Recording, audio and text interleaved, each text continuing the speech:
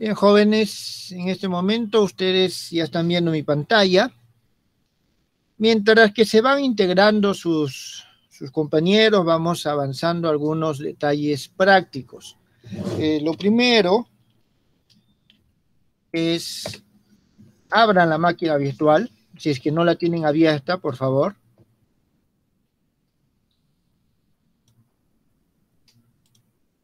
Entonces, lo primero que tienen que hacer tener abierta su máquina virtual. Eh, una consideración especial, jóvenes, ya el profesor Paredes les hizo mención de que esta máquina virtual ha sido creada con cierta configuración. Se le ha dado 2 eh, gigas de memoria RAM y se le ha dado 2 CPUs. Si las configuraciones de sus máquinas no soportan esta configuración, por ejemplo, si, tienen solamente dos CPUs, entonces denle uno. ¿Está claro? Si tienen por lo menos cuatro, déjenlo con dos. Igual, la memoria RAM. Aquí tiene eh, dos gigas de memoria RAM. Eso si es que ustedes por lo menos tienen el doble. Si es que no tienen el doble, si tienen solo dos gigas, duro que alguno de ustedes tenga dos gigas ahora, pero eh, entonces si tienen solamente 2 gigas, déjenle un giga. Eh, vamos a usar la máquina virtual, pero no de forma muy intensiva. ¿Está bien? Entonces, lo primero que tienen que hacer es iniciar la máquina virtual.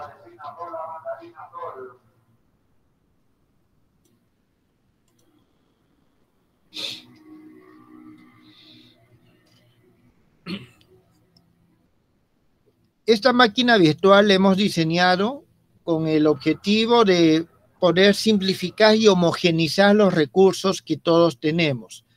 Sabemos que tenemos diferentes recursos, algunos tienen Windows, otros tienen Linux, algunos tienen una computadora que la pueden utilizar ustedes completamente, otros tienen computadoras compartidas, entonces no pueden estar manipulando mucho, entonces, el objetivo es ese.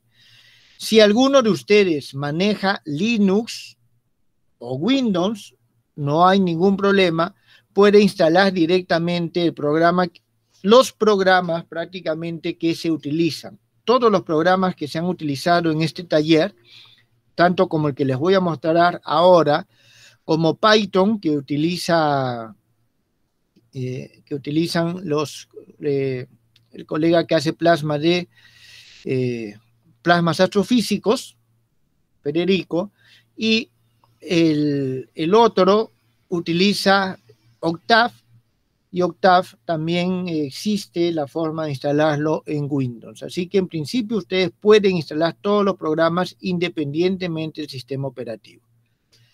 Bien, jóvenes, eh, hasta aquí, esto simplemente da mientras esperamos a que se vayan integrando más de sus compañeros. No sé si tienen alguna pregunta con respecto a, la máquina virtual o algo por el estilo.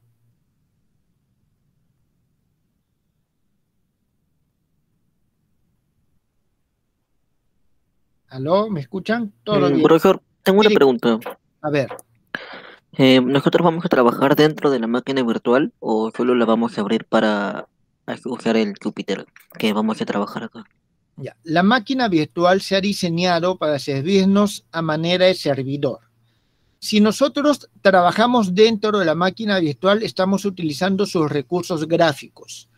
Y sus recursos gráficos consumen recursos de la máquina y le restan por ese procesamiento. Entonces, una vez que lo hemos abierto, nosotros, como ustedes ya saben, vamos a escribir simplemente el localhost 2.5888848, le hacemos enter y ya estamos dentro de la máquina virtual a través del Júpiter. ¿Está eso entendido? Sí, profesor. Perfecto. Entonces, vamos a trabajar sí en la máquina virtual, pero a través del Júpiter. No lo vamos a hacer directamente para no utilizar sus recursos gráficos.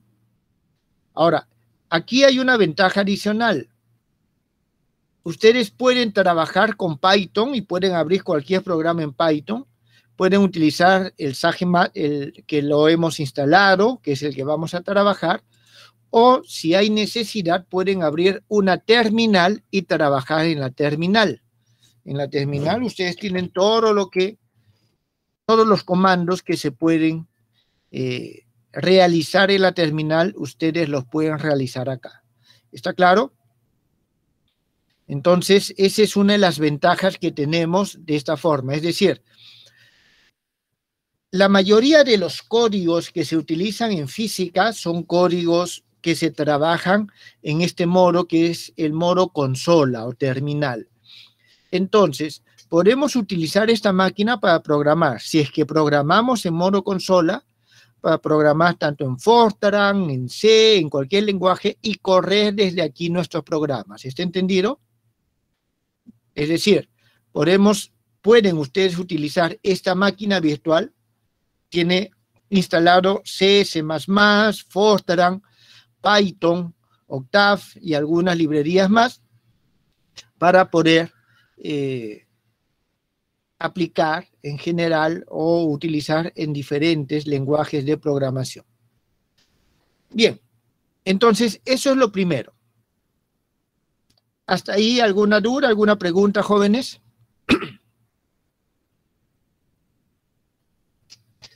Ahora, eh, ustedes ya saben, los que ya saben usar Linux pueden seguir usando esta máquina más adelante para otras cosas, pueden instalarle otros programas que vayan a necesitar, simplemente acá. Ahora, los que tienen Debian o Ubuntu,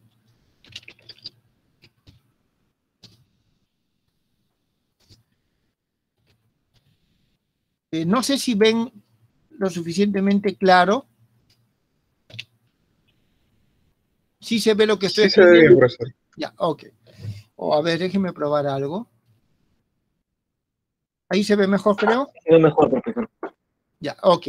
Entonces, si ustedes hacen un sudo, un app search, por si acaso, la contraseña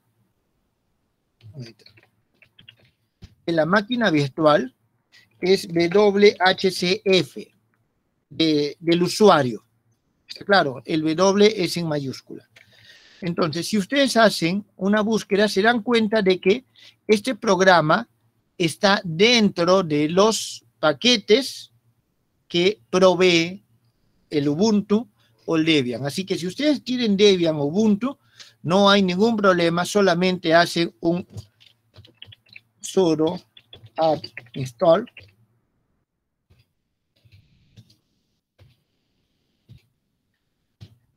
los va a llevar a instalar.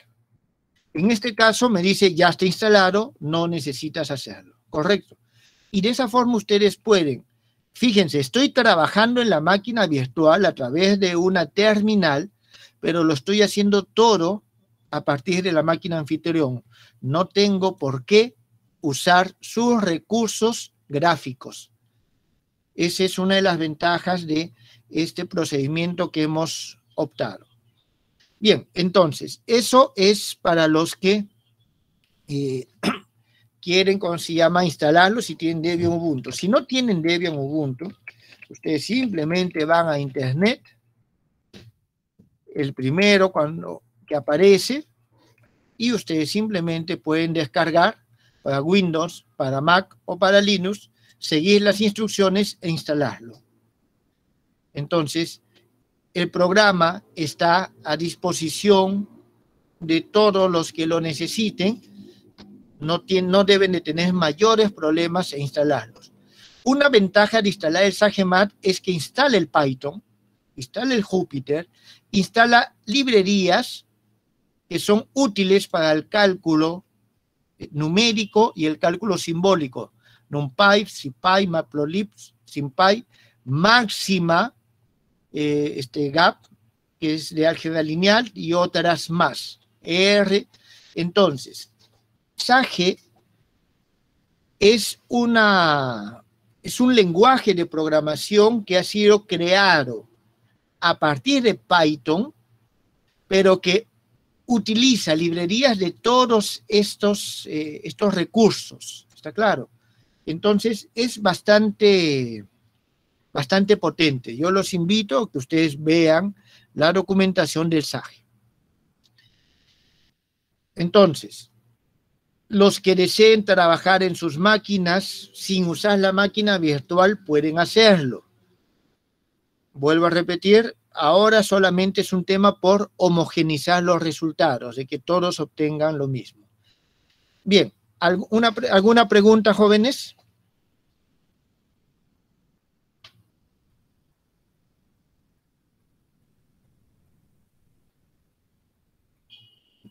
Ninguna pregunta con respecto a la forma, eh, primero al, programa, eh, no, les, no, no, tengo, no tenemos tiempo para explorar todas las opciones del programa. Eh, eso es una invitación que yo les hago. Tienen documentación bastante amplia, tienen ejemplos bastante amplios y también les voy a mostrar los ejemplos relativos a los que vamos a hacer. ¿Está bien?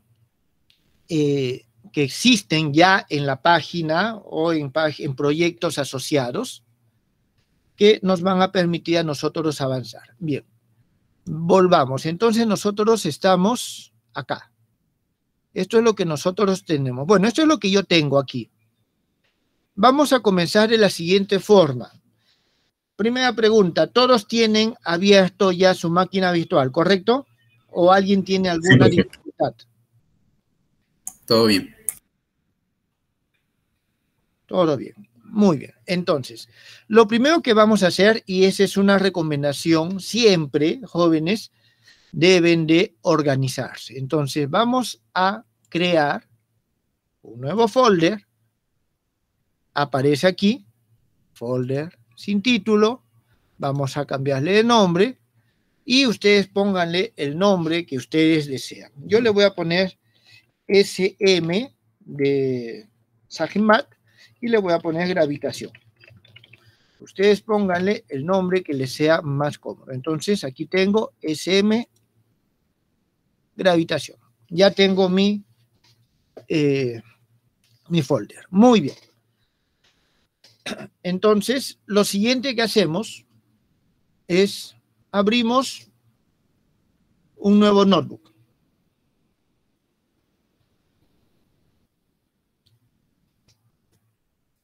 ¿Está bien? Un nuevo notebook. Le ponemos algún nombre. Vamos a ponerle introducción. Eh, a ver, vamos a ponerle al, y, y, le voy a decir lo siguiente, porque alzaje manifold.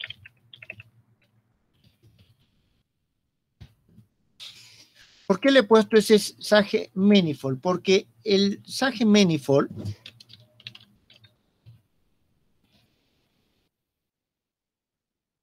es buscan, van a encontrar que este es un proyecto aparte que complementa al Sage Mat. Y este proyecto es el que nosotros vamos a utilizar. Está claro, también tiene documentación, tiene ejemplos que ustedes pueden buscar yo no estoy haciendo como el objetivo ahorita es mostrarles, escogido eh, simplemente los, lo que me ha parecido más práctico para mostrarles de estos ejemplos que hay y se los voy a ir explicando a medida que lo vayamos desarrollando. Ya ustedes van a poder ampliarlo más adelante y complementarlo según cómo vayan avanzando. Entonces, tenemos este primer notebook jóvenes, si voy muy lento, voy muy rápido, me avisan. Eh, profe, una pregunta. la carpeta de SM Gravitación, ¿en qué carpeta la creo? Yo la creé en el raíz. Yo estaba en el raíz acá. y se crea carpeta. Y aquí me aparece. El nombre que tú le hayas puesto también debe aparecerte ahí. ¿Ya encontraste o todavía? Eh, sí, profesor. Ya, ok, muy bien. Entonces, eh, vuelvo a repetir, la idea es esa, jóvenes, ¿correcto? Siempre tratemos de trabajar de forma organizada. Todos los, eh, los programas, archivos, documentación relativa a algo, traten de mantenerlo siempre en el mismo lugar. Muy bien. Lo primero que vamos a hacer es a ponerle aquí un nombre. Jóvenes, eh, no sé si ustedes saben manejar el Júpiter. Primero, si le pongo aquí Markdown y pongo el símbolo numeral, puedo poner lo que es un título. Vamos a ponerle así, introducción. Eh, vamos a ver al...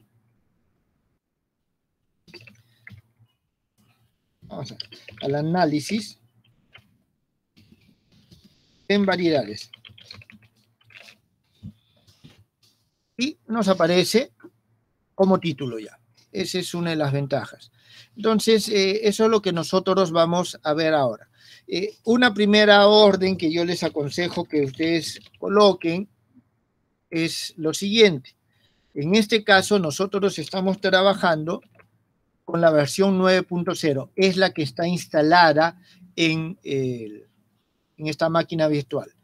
Nosotros si vemos, vemos de que la versión vigente actual es la 9.3. ¿Está bien? Nosotros estamos trabajando con la 9.0. Entonces, el que esté con la 9.0 significa que lo que nosotros desarrollemos va a ser vigente para de esta versión hacia adelante. En versiones anteriores es posible que esto no funcione. Después, otra cosa que yo les recomiendo que ustedes coloquen, siempre es bueno en todo código colocar comentarios. Entonces aquí vamos a colocar un primer comentario y es algo que también recomiendo para trabajar con el SageMat y es lo siguiente. ¿Está bien? Eh, configuremos el notebook para que nos muestre las expresiones matemáticas usando látex. Entonces, eso es lo que nosotros vamos a hacer. ¿Y cómo? Le vamos a decir que cuando nos muestre, cuando haya un display, use látex. Listo. Eso ya le dice al notebook que use el látex para poder definir. Entonces, eso es lo primero que vamos a hacer.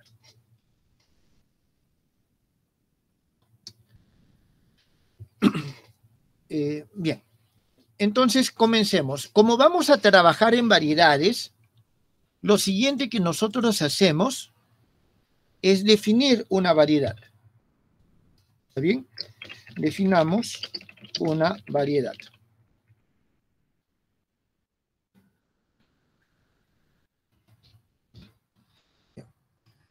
Entonces, ¿Qué variedades vamos a definir? Vamos a definir nosotros dos variedades en este momento, simplemente a manera de prueba. Inicialmente, vamos a decir lo siguiente.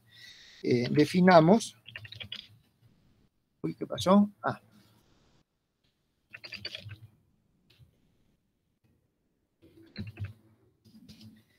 Eh, a ver, una variedad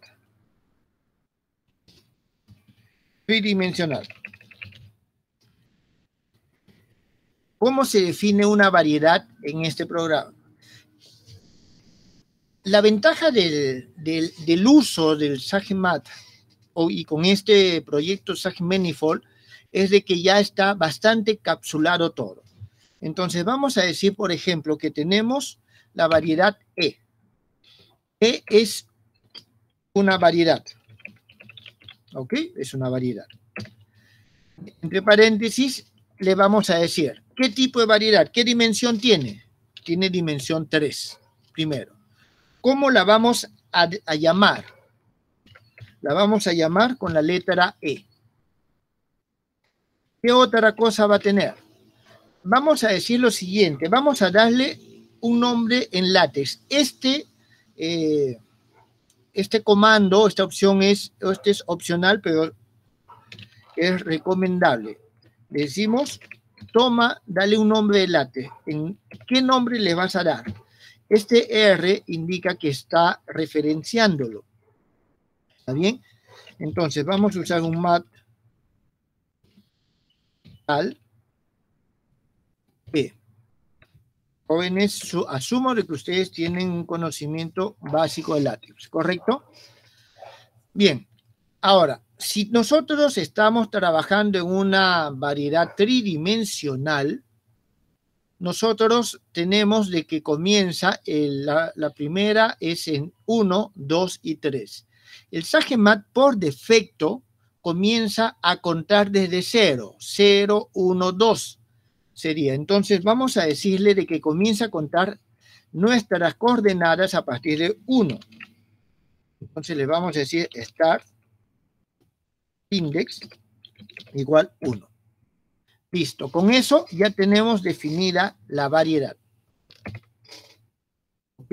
No nos ha sacado absolutamente nada. Vamos a decirlo que le escriba. Ponemos simplemente E y nos escribe, y fíjense, nos escribe usando el formato látex que nosotros hemos definido. Bien, ok, pero realmente está definida la variedad. Vamos a ver, para eso le vamos a decir que imprima sus características.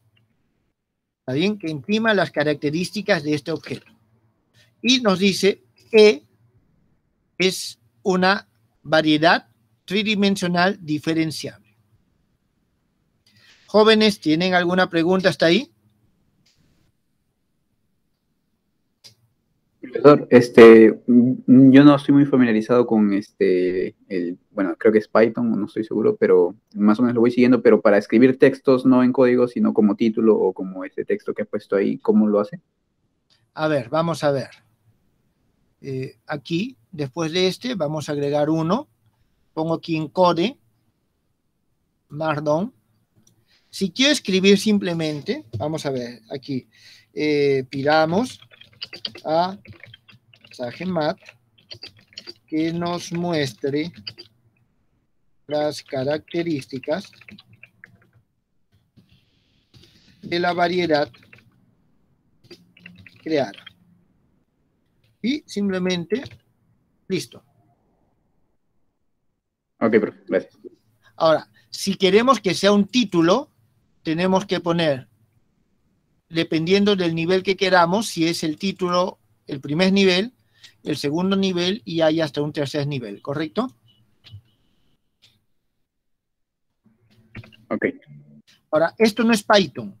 Esto son las características que tiene el Jupyter como un notebook, como una herramienta de computación. Bien, profesor, está bien. Ok, hasta aquí, jóvenes, ¿está entendido? Ahora, esto un poco por curiosidad, tal vez les sea más interesante más adelante.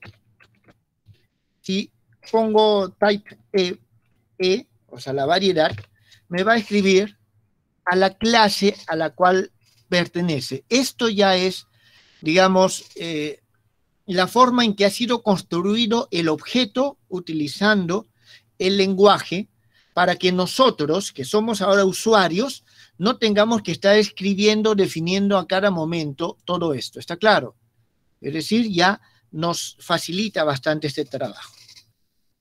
Además, nosotros podemos preguntar de qué categoría es este elemento que hemos creado y nos dice que es una variedad suave en los reales.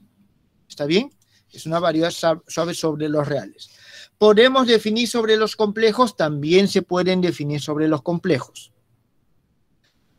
Eh, jóvenes, por si acaso, esto no es aplicable solamente a relatividad. En general pueden aplicarlo a teoría de campos.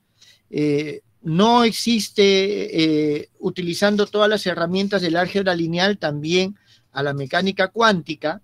Entonces, SAGMAT es una herramienta bastante potente para poder utilizarla en diferentes recursos. Está claro, existe literatura, libros inclusive, eh, donde explican algunos de estos aspectos, algunas de estas aplicaciones. Hasta el momento, ¿alguna pregunta, jóvenes?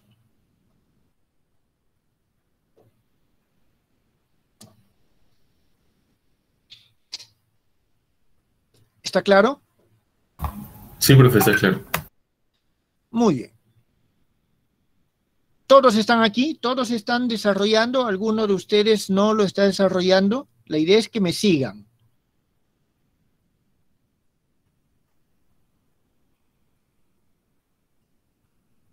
Sí, profe, vamos bien. Muy bien. Ahora, también la idea es que intenten comentar. Si no ahora, pueden comentarlo después, cuando estén repasándolo, pero que intenten comentar. Bien, vamos a hacer lo siguiente. Ya tenemos la variedad. Ahora, vamos a, eh, definamos una carta coordenada una carta en la variedad. Nosotros ya sabemos de lo que hemos hecho en la teoría, que cuando hablamos de una carta estamos hablando de un sistema de coordenadas. Hay diferentes formas, jóvenes, de definir las, eh, las cartas coordenadas. Voy a utilizar ahora la más básica.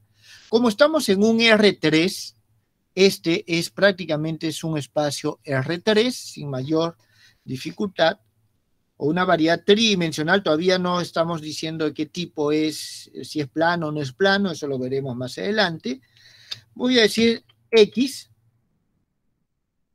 y esta es una orden cuando ya, eh, digamos, está como predefinido, ¿está bien? Entonces voy a poner X, Y, Z, de esa forma, y voy a decir que esto que estoy definiendo de esta manera es en la variedad M una carta. Entonces, cuando yo, ¿qué pasó? Algo me equivocaron.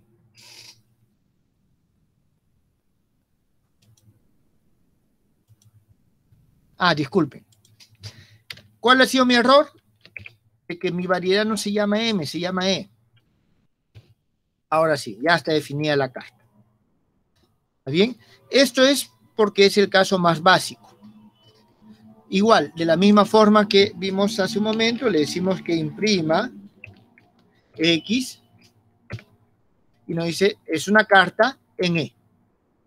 Si pongo simplemente X, también me lo va a imprimir, pero ya sin esto y me lo va a imprimir en el formato que yo quiero. Y fíjense, el nombre de él en látex y también X, Y, Z en látex. Si quiero yo preguntarle, X, jóvenes, X viene a ser, un, ya hablando de programación, viene a ser una especie de arreglo. Entonces, como es un arreglo, yo le puedo decir que me diga cuál es el primer elemento que hay, es el X, el Y o el Z. Si yo no hubiese puesto, a ver, voy a hacer un cambio acá. Por defecto, esto empieza en cero. ¿Está bien? Entonces voy a hacerlo correr. De nuevo, ustedes no, no tienen necesidad de hacerlo. ¿Está bien? Entonces aquí vamos corriendo todo de nuevo. Y fíjense, el 1 ahora me sale Y. Ya no me sale X como salía antes. ¿Por qué? Comienza en cero. Si yo pongo x, 0 ahora, aquí es que me sale el x. Entonces, por esto me indica de dónde empieza. Si yo lo borro, si no pongo nada, por defecto me sale 0. ¿Está bien? A ver, déjeme ver si así nomás esto cambia. tengo que correrlo todo de nuevo desde acá.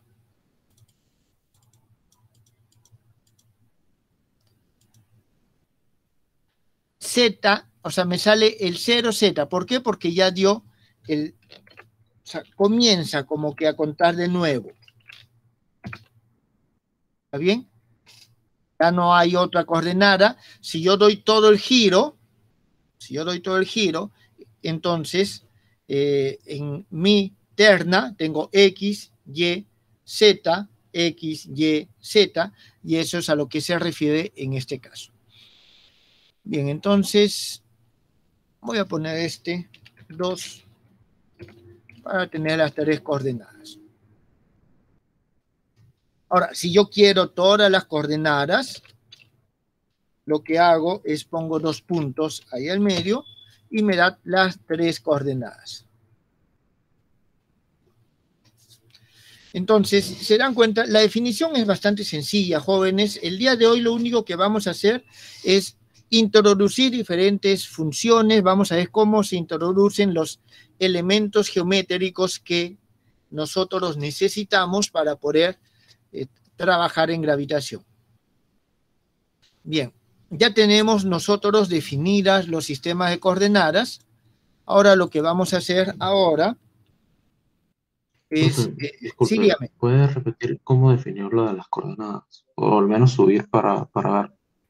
Acá, este es.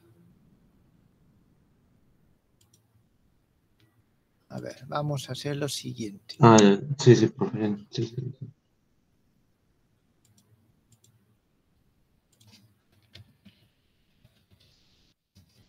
Definimos una carta en la variedad. Esa es la, digamos, la expresión formal de lo que hemos hecho. No es la única forma. Más adelante vamos a ver otras formas mucho más explícitas, donde les, aquí estas están yendo de menos infinito a más infinito. Es decir, estas como que ya están predefinidas, pero hay otras formas de definirlos que no están predefinidas. Nosotros tenemos que decir cuál es el rango de los sistemas de coordenadas con los cuales vamos a trabajar. Eso lo vamos a ver más adelante, ¿ah? pero poco a poco. ¿Está bien? Entonces, esto es lo que nosotros tenemos hasta el momento. Eh, bien. A ver, vamos a hacer lo siguiente definamos otro sistema, otra carta en la variedad.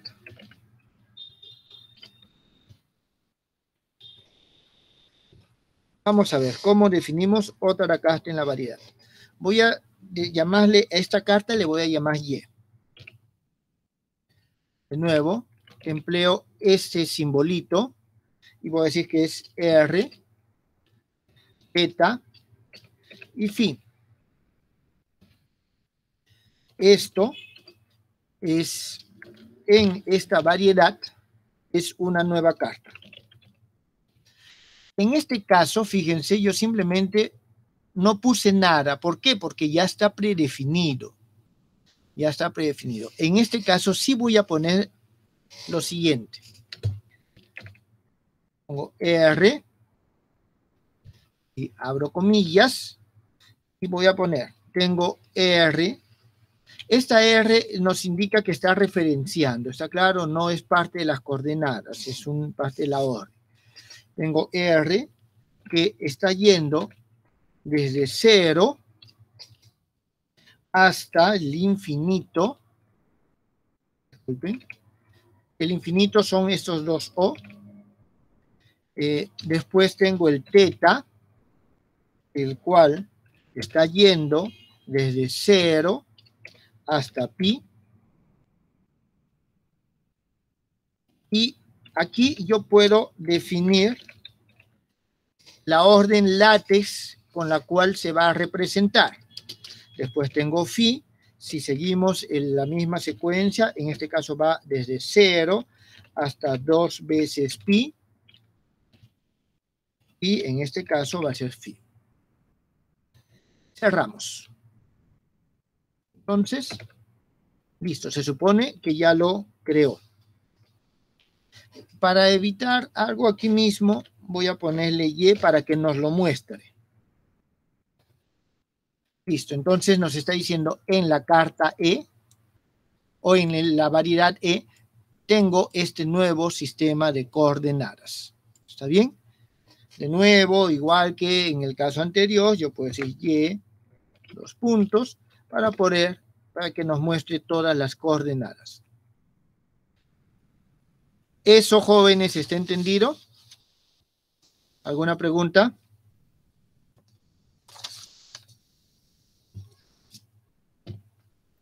Está bien, profesor. Muy bien. La carta, la otra carta, vamos a, a ver, vamos a ver qué hacemos a continuación. Eh, a ver, a ver, a ver, un momentito. Profesor, una pequeña pregunta. Dígame. Eh, ¿qué, ¿Qué teclas está usando para crear una nueva celda? A ver.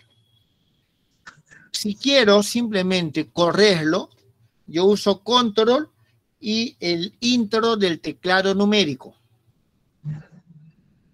Ok. ¿Está bien? Y simplemente lo corro de nuevo. A ver si con el otro me sale. Ah, también. Si quiero simplemente correrlo. Si quiero que cree una nueva celda, por ejemplo, aquí es Y, vamos a decir 2, a ver cuál es, con el Alt. Alt y el Enter. Si simplemente lo quiero correr, es Control y Enter. Si quiero que me genere una nueva celda, es Alt y Enter. Ok, profesor, muchas gracias. No hay de qué. Eh, sí, porque a veces es incómodo estar de nuevo yendo a arrancar a vez. Una de las cosas que particularmente a mí no me gustan de estos sistemas gráficos a veces es que necesitas usar el mouse, pero mientras menos utilices el mouse es mejor. ¿Está bien? Muy bien, entonces nosotros ya tenemos esto. A ver, ¿qué más podemos decir aquí? Déjeme ver un momentito acá, qué es lo que tengo apuntado. Ya. Ahora, vamos a ver lo siguiente. Si yo escribo M, a ver, déjenme ver algo acá. Si yo escribo M y le digo Atlas, ¿está bien? Que me muestre el Atlas, me mostrarás lo siguiente. Uy, ¿qué pasó acá? Eh, la variedad es E, profe. Sí, sí, disculpen. Lo que pasa es que cuando trabajo normalmente en cuatro dimensiones utilizo el... Listo. Entonces me está diciendo de que esta variedad, esta variedad tiene dos cartas coordenadas. ¿Está claro? Dos cartas coordenadas. Y le puedo preguntar lo siguiente. E, dígame, ¿cuál de estas cartas es la que se va a considerar se va a considerar que es la principal. Y es la primera que hemos creado. ¿Eso está entendido?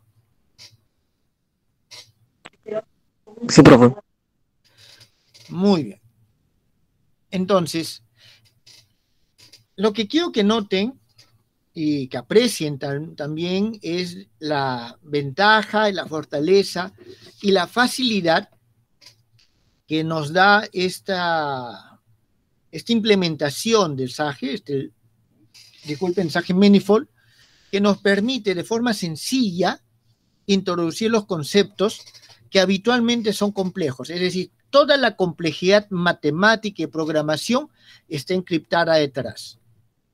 Esta es una buena herramienta, jóvenes, para que ustedes aprendan, eh, fortalezcan sus conocimientos y sí se puede hacer investigación también con ella. Eso vamos a ver si mañana ya les muestro eh, unos resultados que tienen aquí eh, también de estas librerías, de estos ejemplos, y les voy a decir cómo podrían ustedes modificarlos para encontrar algo nuevo. Bien. Ahora, aquí hay algo que es interesante y que es importante. Vamos a crear, vamos a introducir una subvariedad. Vamos a decir que U es de E, un subconjunto abierto. Es un subconjunto abierto. Este subconjunto abierto, en primer lugar, le voy a llamar U. Voy a llamar U. Eh, vamos a decir, vamos, que las coordenadas que están definidas acá van a ser nuestras coordenadas X, tales que, y aquí vamos a poner una restricción, que Y no es igual a cero y que X es menor que cero. ¿Está bien? Entonces vamos a ver qué es lo que nos da esto. Profe, al costado de la uva coma, creo. Antes Ah, de sí. cortar. Ya, gracias, sí. Gracias. Listo, ya nos lo creo. Entonces vamos a llamar nosotros a esto. Vamos a decir x sub u. Vamos a decir que es igual a x restringido a u. Y llamamos al x sub u. Y ahora, ¿qué más? Ah. Listo.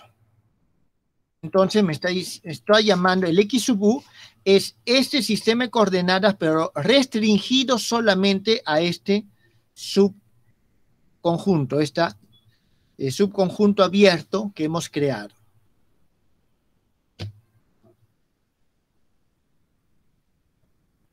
¿Eso está entendido?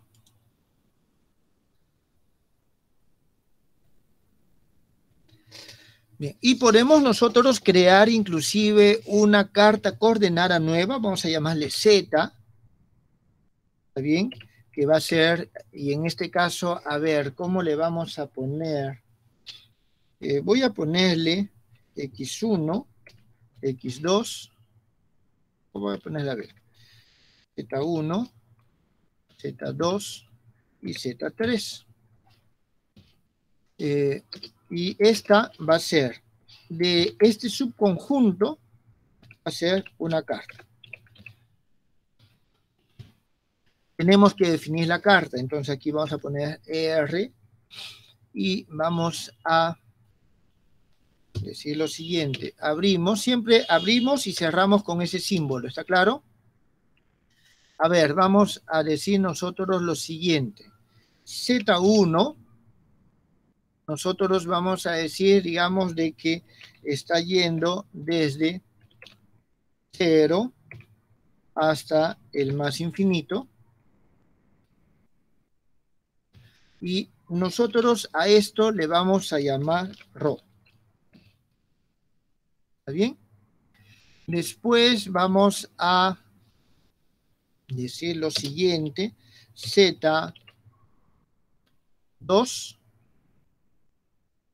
Z2, esto va a ser desde, vamos a decir que es desde menos infinito hasta más infinito, y a esto nosotros le vamos a llamar simplemente Z, y vamos a tener el Z3,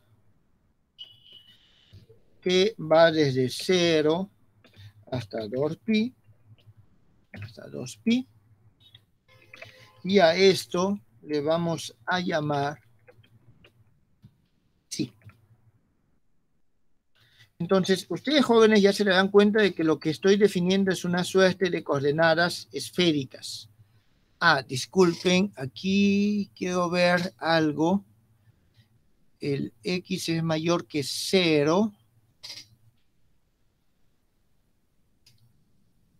Entonces, si el x es mayor que 0, aquí yo no puedo definir en todo. Sería...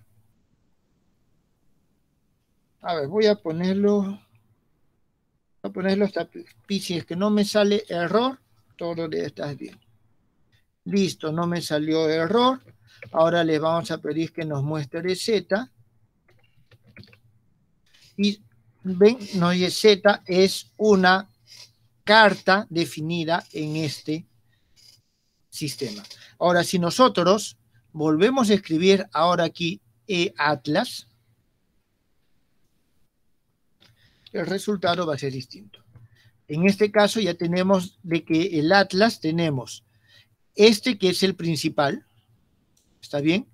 Tenemos además estos dos están definidos en todo el atlas y estos que están definidos solamente en ese subconjunto. Jóvenes, ¿alguna pregunta?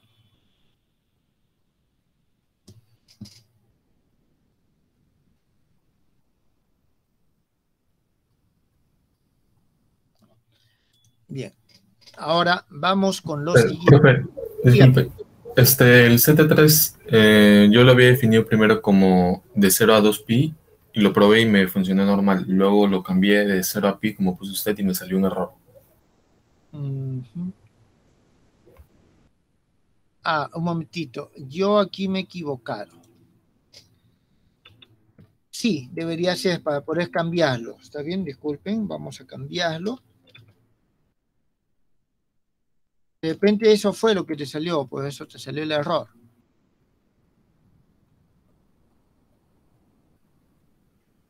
A ver. Profesor, disculpe, la restricción es para eh, los valores, o sea, ¿cómo dejé lo permitido?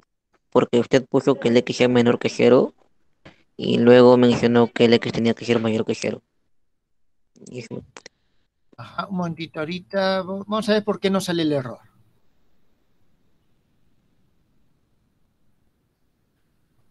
A ver, voy a hacer lo siguiente. El error, si no me equivoco, sale porque ya tenía registrado ese valor y no lo ha actualizado. Voy a reiniciar todo esto. ¿Está bien? Debe correr rápido.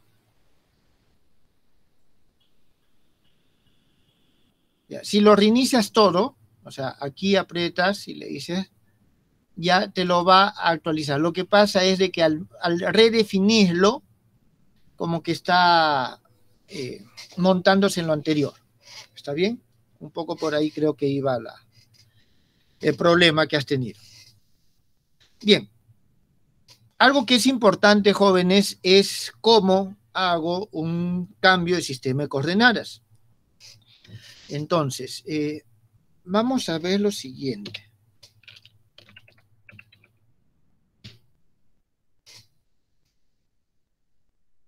Voy a utilizar aquí esto, este blog, para ir escribiendo lo que nosotros ya conocemos. A ver, eh, tenemos nuestros sistemas de coordenadas. A ver, tenemos nuestra variedad, que es, eh, tenemos los sistemas de coordenadas, tenemos tres sistemas de coordenadas, tenemos el X, que es simplemente X, Y, Z, tenemos el Y, que es R, eh, teta, phi, y tenemos el Z, que es el rho, Z, y aquí tenemos psi. Listo. Ahora, ¿qué es lo que hacemos? En principio, jóvenes, podría haber utilizado aquí también el fin, no hay problema, por la definición, porque igual es, el mismo ángulo, está claro, tanto en, en coordenadas esféricas como cilíndricas, que es la que estamos nosotros trabajando acá. Bien, ahora, algo que es importante es lo siguiente. ¿Cómo es que se relacionan? Y nosotros sabemos lo siguiente, de que el X es igual al R seno de teta seno de phi, el Y es igual al R seno de, eh, disculpen, este es coseno. A ver, voy a aprovechar esto, simplemente lo llevo acá. Tengo coseno de phi, seno de phi, y el Z simplemente es igual a R coseno de teta. Ok, entonces voy a introducir esos cambios acá. ¿Cómo hago el, el, el, cambio de coordenadas? Y para eso voy a decir lo siguiente. El paso, ¿está bien? De la coordenada Y a la coordenada X, Fíjense que es sencillo, lo han diseñado esto. Esto es igual. Jóvenes, aquí yo puedo poner cualquier cosa, ¿está bien? Simplemente podría poner simplemente... Eh, voy a poner así. Paso Y a X. Entonces, aquí es Y transit. Por eso es que estaba poniendo transit. Eh, transición mata. Entonces, es cómo es que se va a pasar. Y aquí nosotros vamos a establecer los, eh, este cambio de coordenadas. Ahora, en primer lugar, eh, un momentito. Eh, quiero ver lo siguiente. vamos a ver. ¿Dónde estás aquí? Voy, voy a hacer una, introducir aquí una más jóvenes. Voy a poner aquí Y, Y, y también voy a restringir Y solamente a U. ¿Está bien? También. ¿Eso para qué? Para poder hacer el cambio dentro de este subconjunto. Entonces, voy a tener lo siguiente. X sub U. Y aquí escribo las, eh, las coordenadas. Las coordenadas siguientes. Y vamos a tener esto. Primero es R. Acordémonos, lo que tenemos R seno teta coseno teta, senos, entonces tengo R, que lo multiplico por el seno de teta, y eso lo multiplico por el coseno de phi. Eso es la primera coordenada.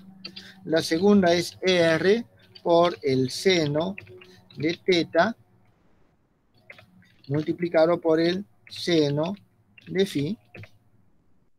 Y la tercera coordenada es R por el coseno de teta. Listo, entonces tengo cierro, cierro, cierro. Ya está cerrado. Listo. Ahora, eso si yo lo corro eh, en este momento, lo único que va a hacer, pero le voy a pedir que lo muestre. Para pedir que lo muestre, escribo la orden que he puesto.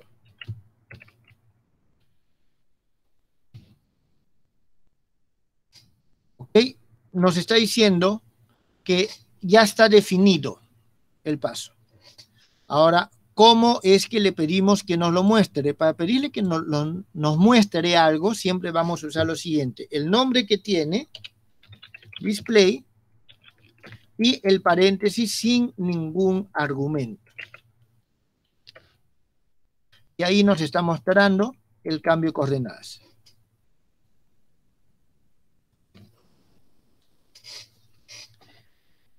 ¿Estos jóvenes tienen alguna pregunta?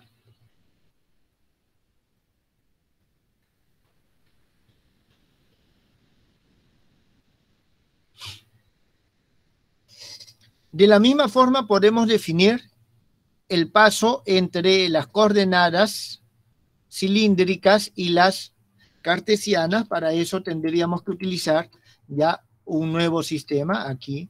Tendríamos nosotros X es igual a R coseno de psi o rho coseno de psi, Y igual a rho seno de psi y Z igual a Z.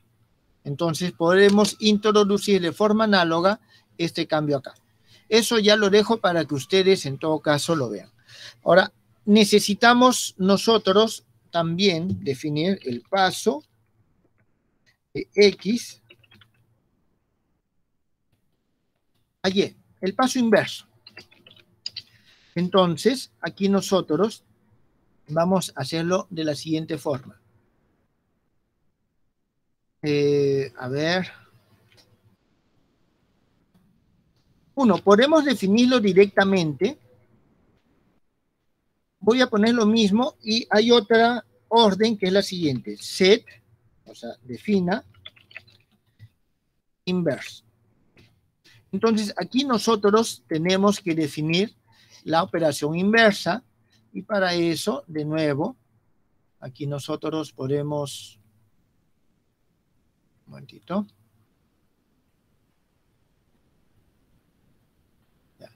Aquí vamos a tener entonces de que R es igual a la raíz cuadrada de x cuadrado más y al cuadrado más z al cuadrado. Tenemos que sacar todas las fórmulas correspondientes. Vamos a tener que teta es igual al arco tangente.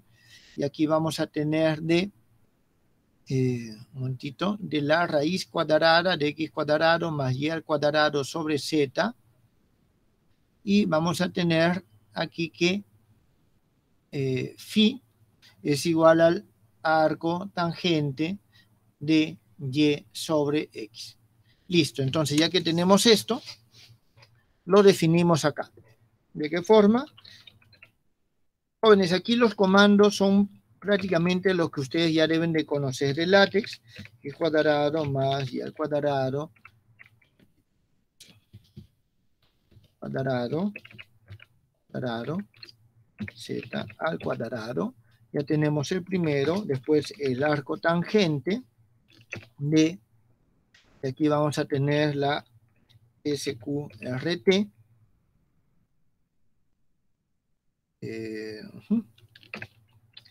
x al cuadrado más y al cuadrado.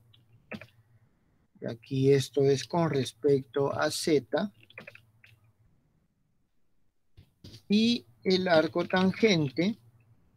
Y aquí vamos a hacer lo siguiente. Bueno, aquí el arco tangente 2. Este orden me está indicando qué es lo que estamos dividiendo uno entre el otro. ¿Está bien? Y entre X. Esa es la orden que tenemos aquí. Eh, a ver. Si cierro, cerré. Listo. Si yo corro esto, me va a hacer lo siguiente, hace un chequeo, ¿está bien?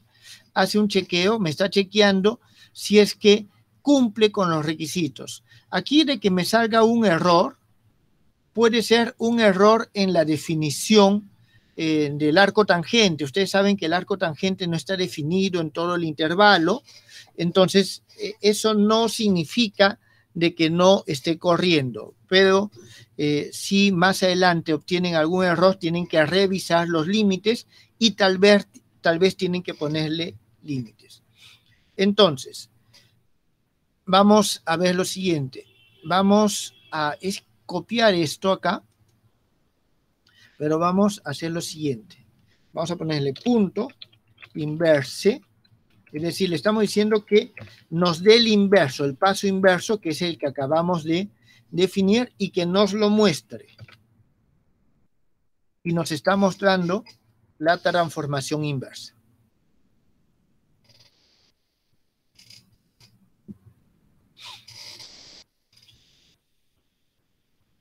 ¿Preguntas, jóvenes?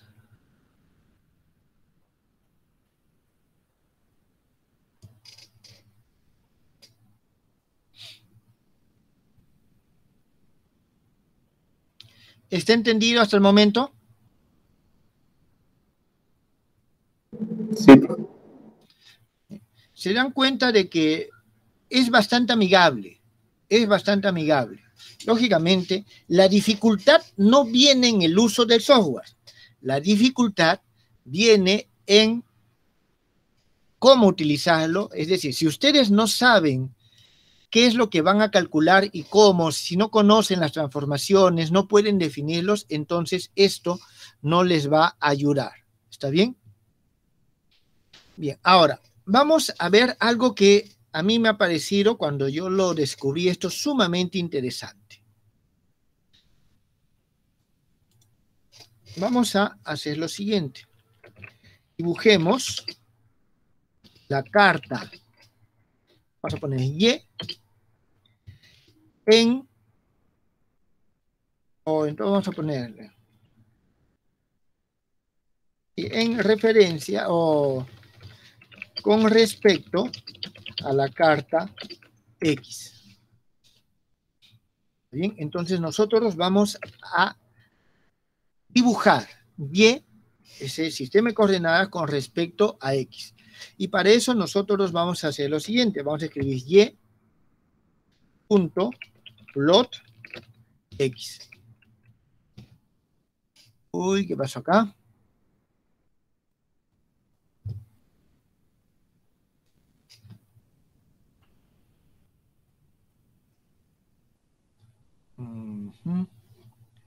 A ver.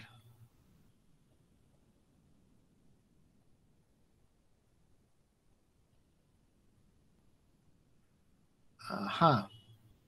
Creo que aquí tengo que poner esto.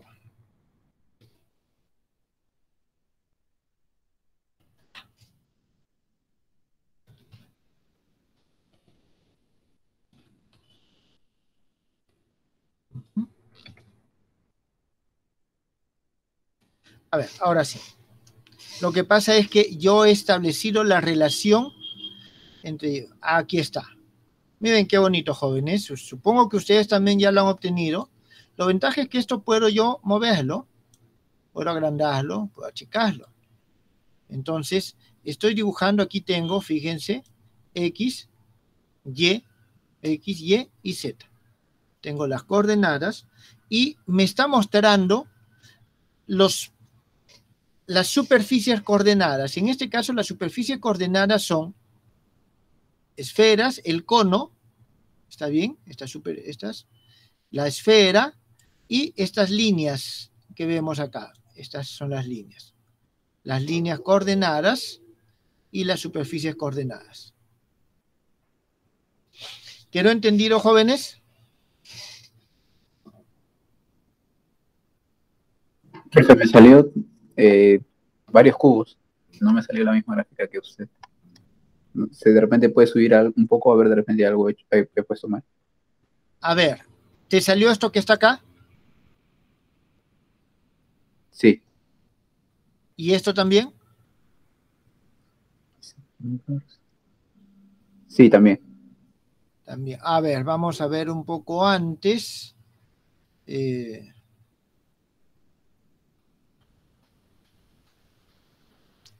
Hiciste las restricciones, supongo. Sí. Ah, el YEU está restringido al... A ver, ¿puede ver esa parte, por favor? YEU también lo restringí a U. Ah, también. Ok, ok. A ver, voy a cambiar esa parte. También lo restringí a U.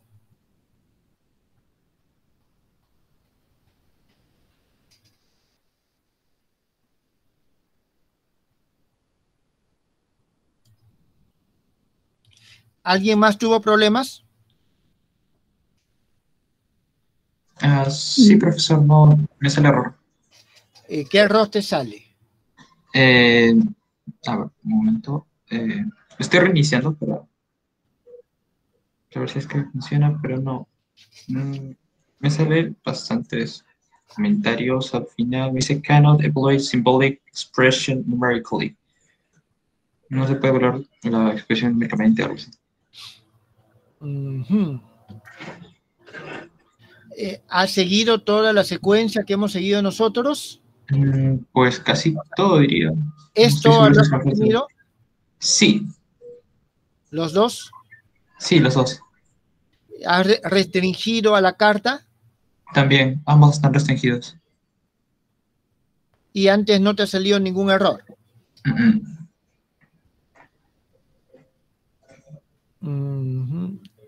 Tal vez viene en alguna de las definiciones. Si no lo puede considerar numérico, ¿aquí te salió este? ¿Esto mismo? Eh, sí. Ah, me he puesto failed. Me salió failed en vez de passed. Acá. Arriba. En el primero, en el R. Entonces, el R tú tal vez no, eh, algo la definición no lo has hecho. Tal vez cuando has definido el R, ¿dónde se define el R? ¿Lo has definido de cero hasta más infinito? A ver. Sí. Ah, a ver. Sí.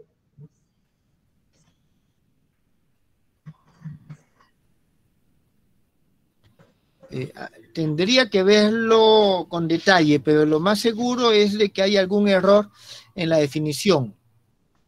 Está bien, alguna de estas definiciones. Profesor.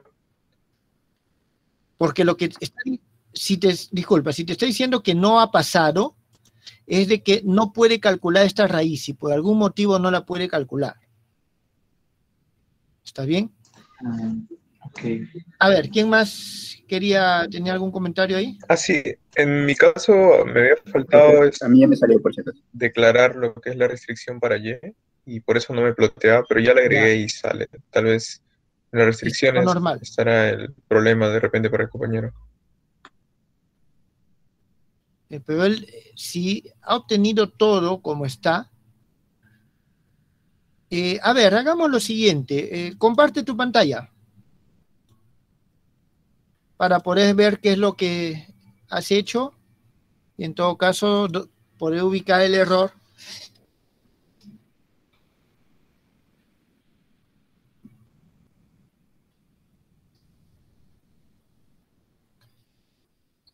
A ver, R.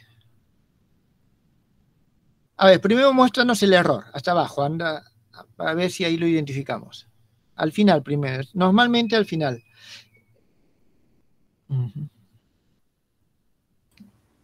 Profesor, creo que he Sí. visto un, un cero, no, un- una O en vez de cero, pues, he visto, creo, en las definiciones.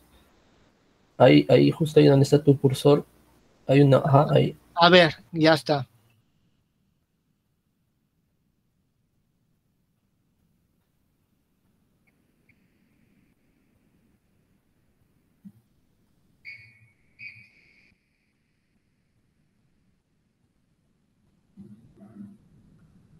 Ya pasó, fíjate.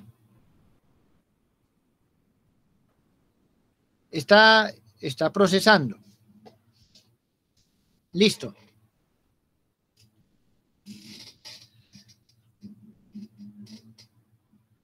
A ver. Ah, disculpe, pensé que estaba No, con el no. micrófono. Eh, No, está bien, es- está bien. Muchas gracias. No, agradece a tu compañero que se dio cuenta. Sí. Muchas gracias.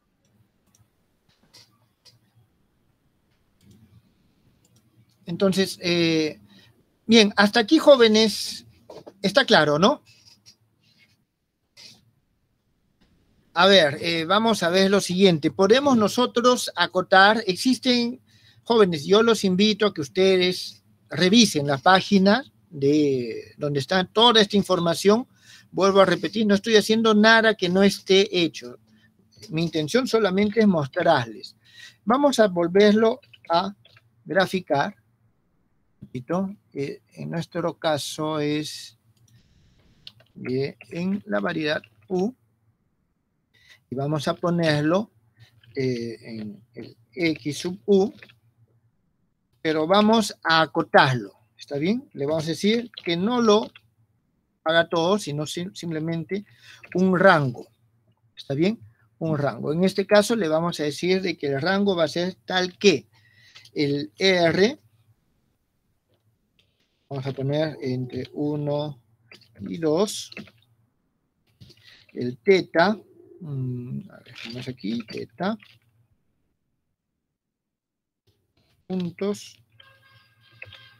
Y aquí tenemos entre 0 y pi medios.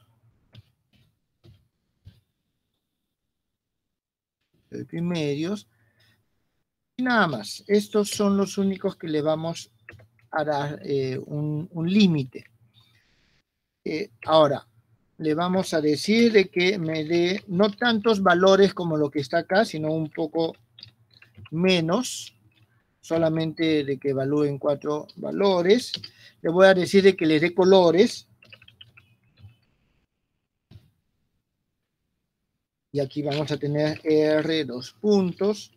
Y vamos a decir, uno de estos va a ser azul. Eh, el teta va a ser verde. El teta va a ser verde y el phi va a ser rojo. Listo, creo que ahí acabó. A ver. Aquí. Esto simplemente para que nos dé esta relación de radio 1. Listo.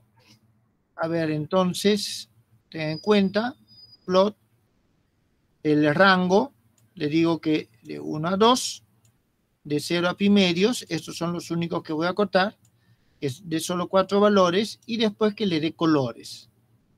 Que le dé colores.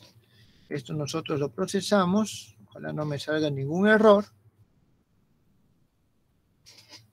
Y obtenemos solamente la mitad.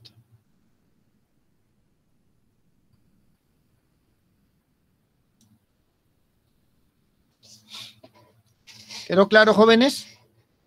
Opciones hay muchas y van a haber muchísimas más.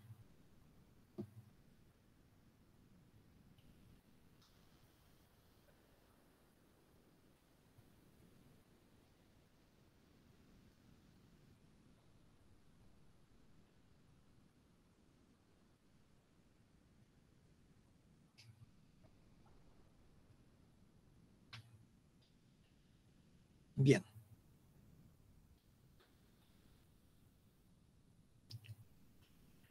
Bien, podemos definir puntos, podemos definir... Vamos a ver lo siguiente, vamos a definir ahora. ¿Todos obtuvieron esta gráfica? Sí, profe. Muy bien. Entonces, fíjense que está los valores que nos están dando. Bien, vamos a ver lo siguiente.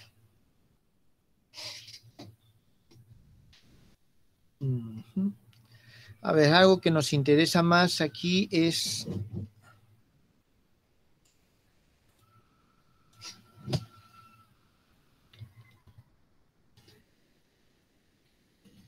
Vamos a definir un campo escalar. Entonces, para eso nosotros vamos a decir lo siguiente. Vamos a decir que F es dentro de U un escalar. ¿Está bien? Es un campo escalar. Ahora, este campo escalar lo vamos a definir lo siguiente. Eh, vamos a decir de que está definido en este subset, en este subconjunto de U. De tal forma, y aquí le podemos dar algún valor que nosotros queramos, es decir, eh, aquí tenemos que definir la función tenemos que definir la función.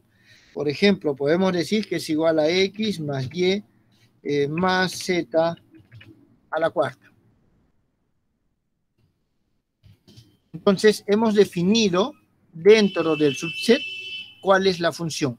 Y adicionalmente vamos a decirle cuál es el nombre. Su nombre le vamos a llamar simplemente f. Y le vamos a pedir que nos lo muestre que nos muestre F.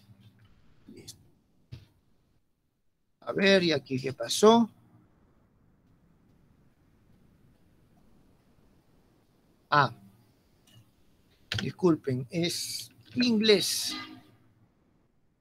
Listo, entonces nos está diciendo, hemos definido un campo escalar F en el subconjunto U, que es, que es una variable, una variedad diferencial tridimensional. A ver.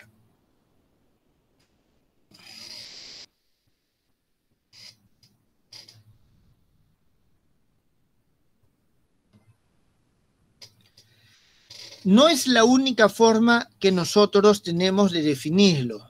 Podemos nosotros definirlo de otra forma. Vamos a ver, G igual, de nuevo, en el U escalar, un campo escalar. Hasta ahí igual, vamos a definirlo de otra forma. Voy a definir la misma función, x más y más z a la cuarta, para ver de que realmente se define de forma distinta.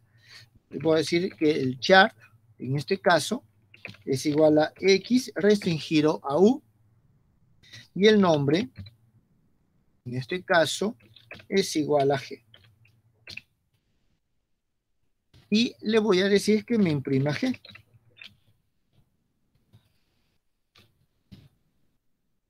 A ver, entonces me lo ha definido. Estas dos funciones son exactamente iguales. Vamos a ver si efectivamente son iguales. Para eso le voy a decir, muéstrame f ¿está bien? Muéstrame f definido en esta subset. Y nos dice, f es una función que nos transforma los puntos de esta variedad en números reales, de tal forma que los puntos son x, y, z y en este x cuarto.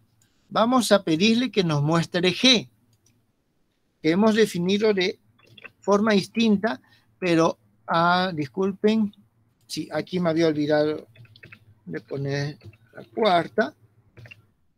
Significa que ahora si le pido que me lo muestre, ya me va a mostrar exactamente lo mismo.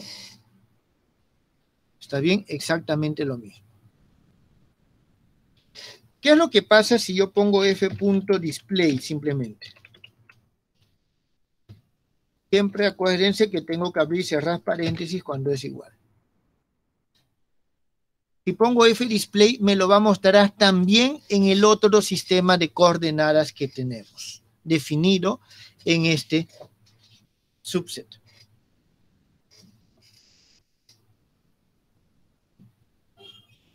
Significa que nosotros podemos poner f.display, en este caso, y sub u. Y nos va a mostrar el otro.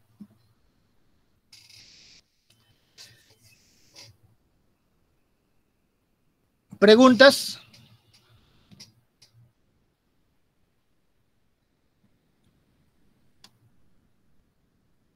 Todo bien, profe. Muy bien, entonces, eh, a ver, otra cosa que necesitamos aquí, necesito que me lo muestre, pero en notación de coordenadas. Notación de coordenadas. Eh, en las coordenadas y sub u que lo muestre. Abrir y cerrar paréntesis. Entonces, en este caso solamente me está diciendo de X y Z, paso a esto. Eh, que me lo muestre. Mm, a ver, voy a poner lo siguiente. F punto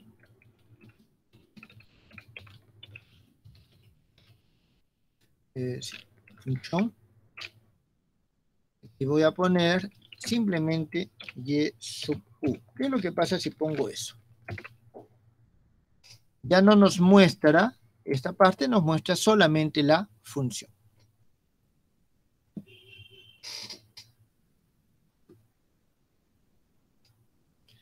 Bien, pueden ustedes seguir explorando las diferentes opciones que hay con esto. Vamos a ver otra definición más.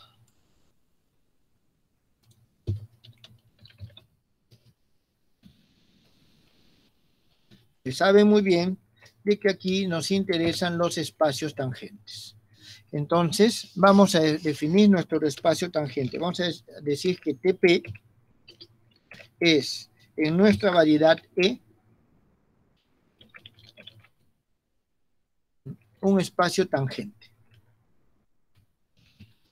Tangente space.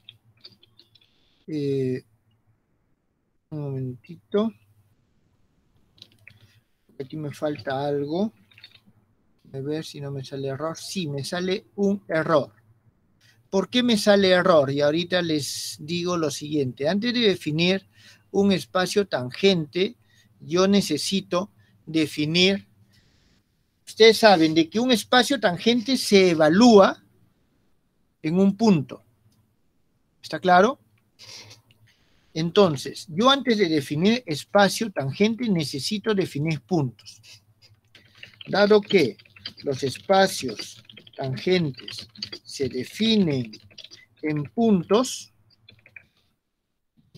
de la variedad, es necesario definir un punto. Ok, vamos a definir nosotros un punto. ¿De qué forma vamos a definir? Vamos a decir que P es igual a E punto. Y vamos a darle un valor simplemente, un valor cualquiera. Eh, vamos a decir de que es el punto 1, 2, 3. ¿Está bien? Vamos a decir, tenemos que decir en qué variedad es x sub u y vamos a darle su nombre. Nombre igual p. Listo, entonces ya tenemos esto. ¿Qué pasó? Ah, chart. Listo, ya está definido. Ah, ok, bueno. Entonces, aquí le vamos a decir de que no se imprima las características de P y le vamos a decir que nos muestre P. Listo. Listo, nos dice P es un punto de la variedad diferencial y la estoy denominando como P. Bien. Ahora, nosotros también podemos decir lo siguiente. Voy a poner así, Q, in, eh, ah, no, disculpe, P. Le estoy, aquí, P, e, le estoy preguntando si el punto pertenece a la variedad y me está diciendo sí, sí pertenece a la variedad. Ahora le voy a preguntar si pertenece al subconjunto. Sí, también pertenece al subconjunto. Aquí nosotros podemos, igual todas las definiciones, queremos que nos la muestre en las coordenadas X, es lo que está. Podemos nosotros decirle, a ver si nos sale, que nos la muestre en las coordenadas Y. Vamos a ver qué nos sale aquí. También nos los está mostrando hace el cálculo con la regla que nosotros le hemos dado. ¿Está bien? Eh, otra forma de hacerlo es decir x de p igual y de p. Obtenemos los valores que vamos queriendo. Bien, a ver. Ahora sí, nosotros, disculpen, quiero ver algo más.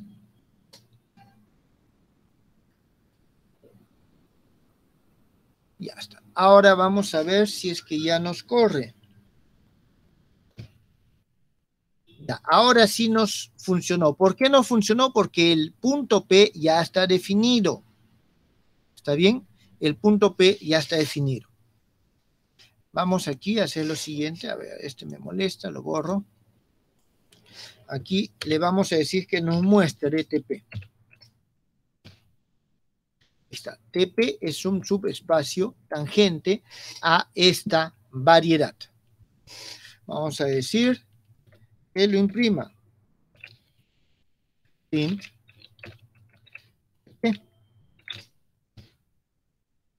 y lo que nos está dando es el tipo de variedad que, el espacio tangente al punto P es, es, el espacio tangente en el punto P a esta variedad diferencial. Eh, algo que es importante a tener en cuenta es lo siguiente, P, ¿cuáles son sus dimensiones? El espacio tangente normalmente tiene las mismas dimensiones que nuestra variedad diferencial. Entonces, si nosotros aquí operamos, nos va a salir definitivamente 3, porque es lo normal. Muy bien, ahora vamos a ver una cosa interesante. Vamos a ver cuáles son sus bases. ¿Cuál es su base? Tengan en cuenta lo siguiente. Hemos definido los sistemas de coordenadas en la variedad, pero del espacio tangente Fíjense lo que obtenemos ahora. Acá están. Tenemos tres bases. Esta, que es la principal. Esta, R teta phi y R rho z psi. Nos está mostrando sus bases. ¿Está bien? Nos está mostrando sus bases. ¿Eso está entendido? Sí, profe. Muy bien. Ahora, eh, tomemos un elemento del espacio tangente. Vamos a tomar, vamos a decir que B es del espacio tangente, un momentito, sí, un elemento, elemento. Es un elemento cualquiera, ¿está claro? Entonces, print B.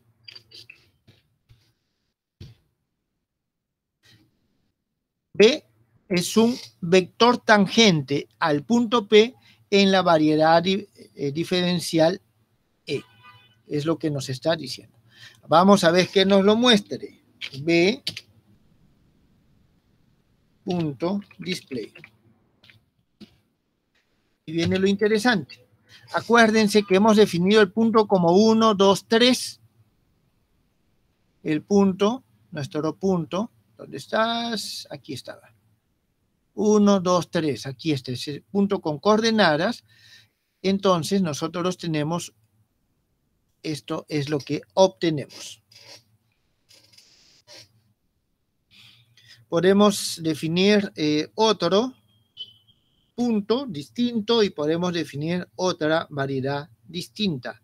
Eso no hay ningún problema.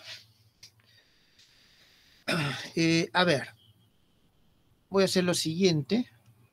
Voy a copiarle esto acá, pero voy a cambiarle de nombre. Voy a poner U. Voy a poner U. Entonces, aquí nos sale lo mismo. Y aquí voy a, de nuevo, copiar esto. Y voy a decir que nos muestre U. Y nos va a mostrar lo mismo. Es lógico que nos muestre lo mismo porque está evaluando en el mismo punto. Muy bien. Entonces, tenemos campo escalar, campo vectorial, tenemos el espacio tangente. Si ya hemos definido el espacio tangente, nosotros podemos definir nuestros campos vectoriales en ese espacio tangente.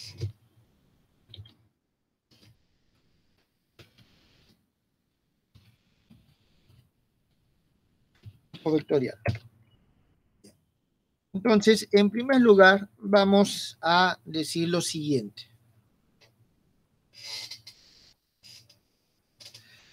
Vamos a decir de que tenemos la coordenada X. Eh, cada vector define una determinada coordenada, o sea, de, digamos, se define un espacio tangente asociado a un sistema de coordenadas. ¿Está bien? Asociado a un sistema de coordenadas. A ver, déjeme ver. Esto me lo estoy escribiendo así porque es el sistema principal de coordenadas. Yo puedo redefinirlo. Vamos a ver. Si yo escribo esto, me da esa variedad. Eh, a ver, de la misma forma puedo poner el frame y tenemos esto y puedo poner el otro, no lo voy a poner en este momento, ustedes ya pueden ir jugando y pueden ir viendo. Entonces, todos los sistemas de coordenada, los marcos de referencia que están definidos acá, eh, Aquí, ¿qué pasó? Ah.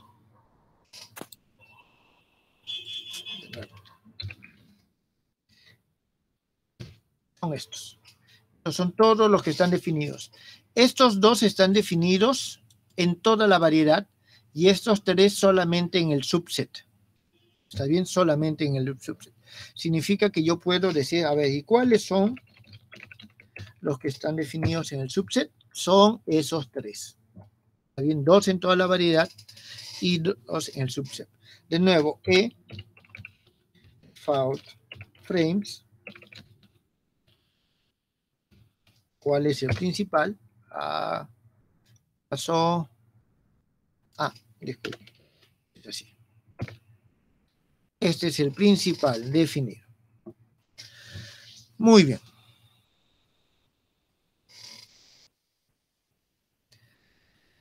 Ahora, vamos a hacer lo siguiente. Nosotros solemos eh, asociar nuestros sistemas de referencia. Por ejemplo, si tenemos el sistema de referencia, solemos decir lo siguiente. E1 e es igual a X, E2 es igual a Y. Ah, no, pero disculpen, estoy trabajando en el espacio coordenado. Entonces, esta es la derivada con respecto a X, E2 derivada con respecto a Y, E3 derivada con respecto a Z. Ok, ¿de qué forma eso lo hacemos aquí? Voy a definir E, voy a decir que en el U fault estoy definiéndolo solamente en un en este subconjunto. ¿Está bien? Aquí voy a, a ver, si escribo ya me lo pone, pero voy a decir, ok, el E2, a ver, E2 es igual al valor que toma E, su segundo elemento. Entonces, si le digo muéstrame E2, me va a mostrar lo siguiente. El segundo elemento, que es justamente este que está acá. De la misma forma, yo tendría que definir E1 y E3. ¿Está claro? E1 y E3. Entonces, voy a definir ahora sí un campo vectorial. Definamos un campo vectorial. Para definir el campo vectorial vamos a decir B es igual Hemos usado llave antes. Como ustedes saben, si yo uso el mismo valor, se sobrescribe. Aquí voy a decir que es el E2 más, eh, vamos a decirle, el logaritmo natural de x multiplicado ¿está bien? Multiplicado por el E, disculpen, E3. Ah, este sí. Les voy a ponerle también, y aquí voy a poner el seno de Z multiplicado por E1. Listo, vamos a ver qué es lo que nos sale esto. Y le voy a pedir que me lo escriba o en todo caso que me diga qué es lo que he creado. El print no nos lo muestra, el display nos lo muestra. Print simplemente nos dice qué es lo que estamos creando. Ah, z no está definido, claro, necesito, esa es una multiplicación. Listo, ha creado, entonces que nos lo muestre.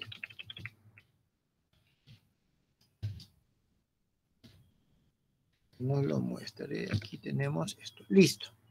Seno y por z y tenemos esto. Muy bien.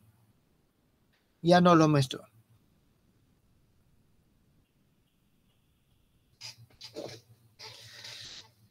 ¿Esto está entendido, jóvenes? Ahora, esta no es la única forma de definirlo. Vamos a definir otro vector. U, vamos a decir que es igual a un U vector bien? Si estoy, si estoy trabajando en U, es vector. En U es un campo vectorial. ¿Cuál es su nombre? Su nombre simplemente es U.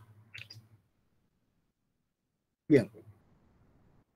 Ahora, solamente le he dicho define un campo vectorial en este subconjunto U y le ponle nombre U. Ahora le lo que voy a hacer es definir sus componentes. Y para eso voy a decir, el U1 va a ser igual, por ejemplo, a X más Y. El U2 va a ser igual a Z al cuadrado. Y el U3, es decir, puedo definirlo a partir de sus componentes. Eh, exponente de x más z. Y le voy a decir, muéstrame. este U. Muéstrame este U. a ver, a ver, ¿en qué me he equivocado ahora? En el display, creo, no debe ir U. En el display. No, dentro del, del paréntesis. Gracias, gracias. Muchas gracias, listo. Entonces, de esa forma, jóvenes, creamos un campo vectorial. ¿Está bien? Tenemos ya dos campos vectoriales creados, B y U. ¿Está bien? B y U. A ver, ¿qué más hacemos? Podemos hacer aquí, hay varias cosas.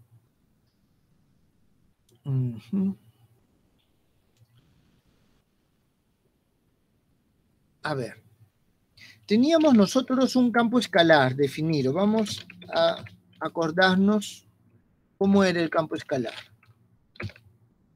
A ver, tenemos este campo escalar definido. Ahora, vamos a definir nosotros, a ver, voy a hacerlo acá.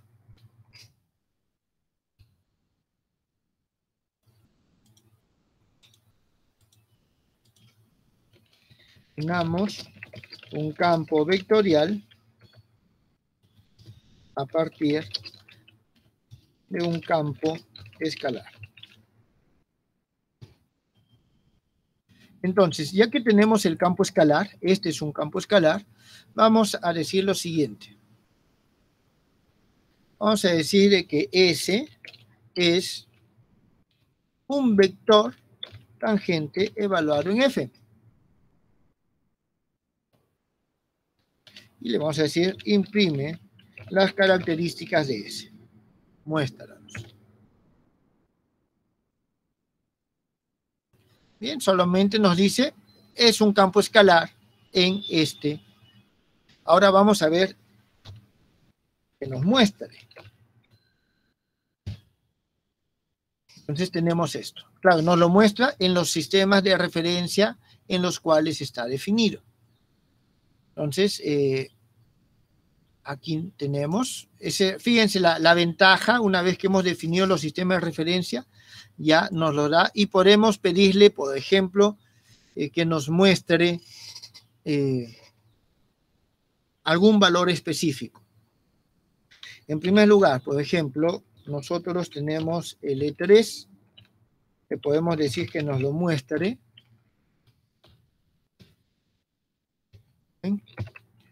nos lo muestra y una vez que tenemos el E3, no necesitamos este paso, pero para darnos cuenta, el E3 que actúa sobre F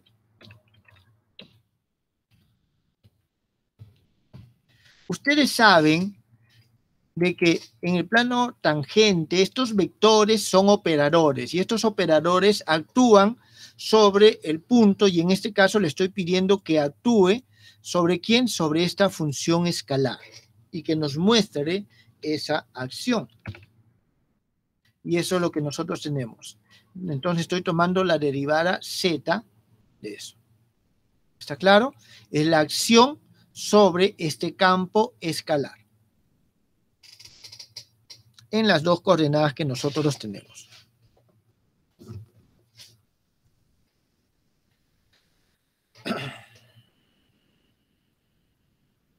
¿Alguna pregunta, jóvenes? Todo bien, profe. Muy bien.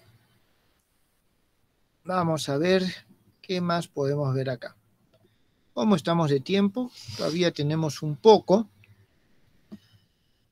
A ver, ¿todos están siguiendo hasta acá? ¿Todos han obtenido los resultados que, que hemos obtenido? Sí, profesor. Muy bien. A ver. Podemos, eh, les voy a, podemos seguir jugando mucho, pero vamos a ver lo siguiente. Unos elementos que son importantes son las formas diferenciales. Entonces vamos a ver cómo introducimos las formas diferenciales. Voy a decir que df es igual a una forma diferencial.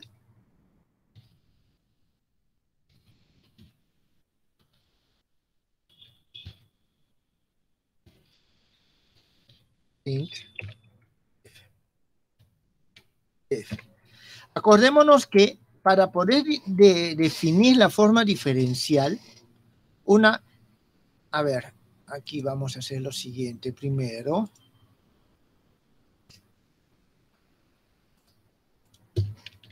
Una, eh, ¿cómo era? Creo que es así.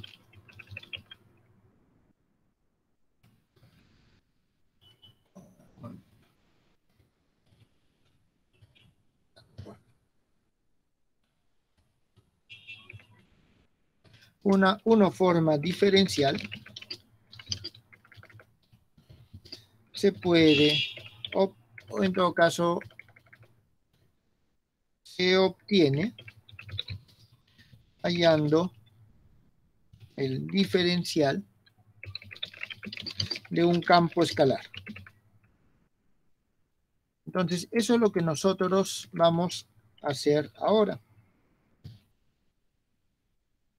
Y lo que tenemos es lo siguiente. Simplemente nos lo está diciendo ahora que lo muestre. Display y está integrando. De nuevo, ¿cuál era f?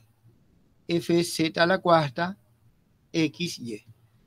Y aquí tenemos de x más de y más 4z al cubo de z. ¿ok? Ya nos lo ha mostrado. Cuando nosotros tenemos este espacio, eh, las formas diferenciales nos forman eh, todo el conjunto, el espacio dual, el espacio de formas diferenciales. Entonces voy a llamar de X, va a ser igual a X o frame, o sea, el espacio, aquí es igual, es, si al espacio tangente sus coordenadas son estas que están acá, o sus, eh, su base, lo que estamos viendo aquí es la base del espacio cotangente. Esa es otra forma a la cual se le denomina. Entonces vamos a mostrar de X. Fíjense, de X, de Y, Z, que es lo que nosotros tenemos. A ver, y en esta variedad que nosotros estamos trabajando, ¿Cuántas cobases tenemos? Ahí están. todas las cobases que nosotros tenemos. Es decir, son las bases del espacio dual. ¿Está bien? Son las bases del espacio dual.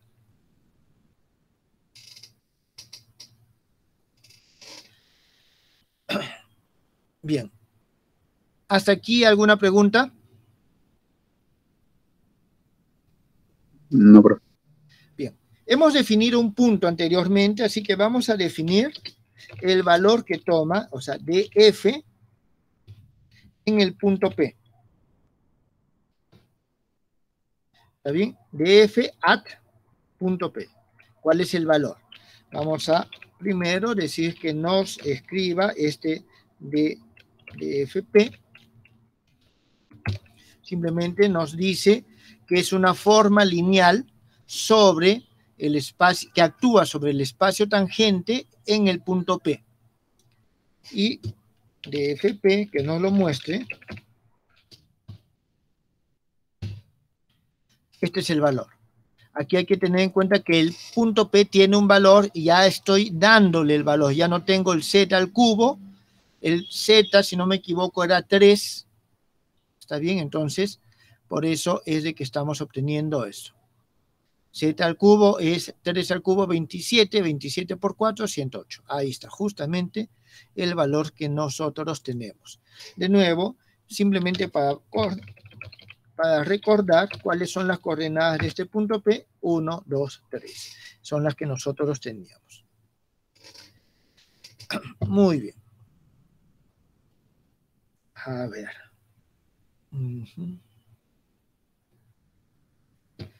A ver, ¿qué es lo que tenemos? Quiero ver acá.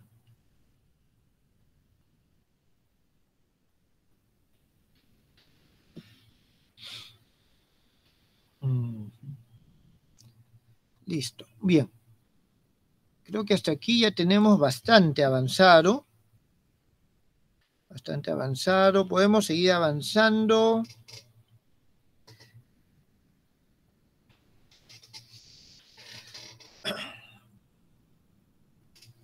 Bien.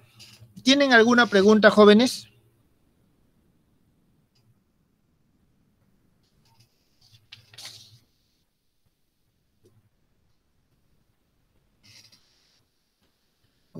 yo creo que con esto podemos culminar esta parte. ¿Está bien? Podemos culminar esta parte. Y lo que nos quedaría es lo siguiente. Hemos definido, no son todas las estructuras, no son todas las formas, no es todo lo que nosotros podemos definir acá. Podemos nosotros definir todavía muchas otras cosas más. Entonces, eh, vamos a ver lo siguiente. Simplemente voy, vamos para comenzar, vamos a volver al anterior, aquí a donde estaba, y vamos a crear uno nuevo. Un nuevo notebook. Le vamos a poner, ¿cómo se llama? Eh, geometría diferencial en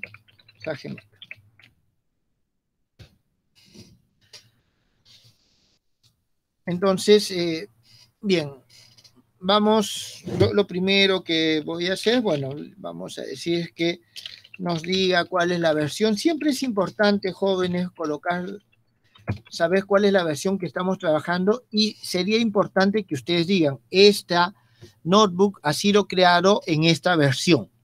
¿Está claro? Entonces, ya que tengo esto, yo puedo aquí introducir eh, a ver, voy a poner primero un encabezado. Eh,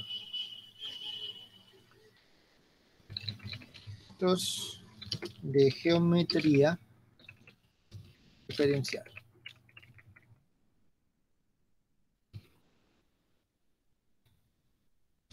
Entonces, aquí, y vamos a tener aquí, siguiente. Para este book se ha utilizado y aquí simplemente bueno, coloco esto. Eso, jóvenes, vuelvo a repetir simplemente, ¿por qué? Porque cuando esto va avanzando, y ustedes van desarrollándolo, es posible que cambien las versiones, es posible que haya librerías que no funcionen y es necesario saber cuál es la referencia. Bien, eh, otra cosa que es importante es que nos lo muestre todo en látex.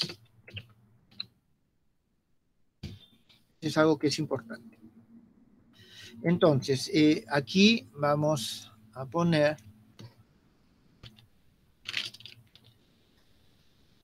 Eh, primero definamos la variedad del espacio-tiempo.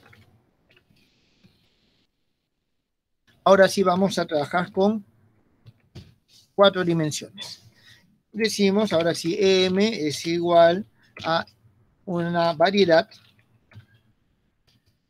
igual a una variedad que tiene dimensión 4 se llama M, se llama M, eh, su, vamos a decir que su estructura es de Lorenz,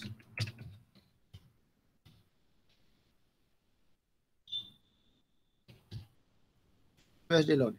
Con esto, jóvenes, esto ya es algo predefinido. Significa que ya no necesito eh, definir, uy, ¿qué pasó? esto de que se estructure. Estructure igual pasó? Manifold, profe. Ah.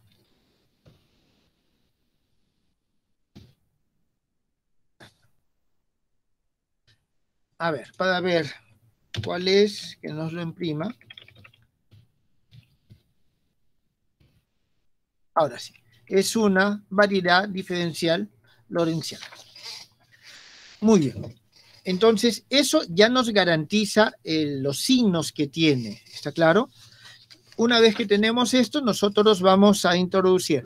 Eh, esto lo vamos a orientar a resolver el, digamos, el problema de, eh, de Schwarzschild. Entonces, si yo estoy resolviendo el problema de Schwarzschild, lo que voy a hacer es lo siguiente.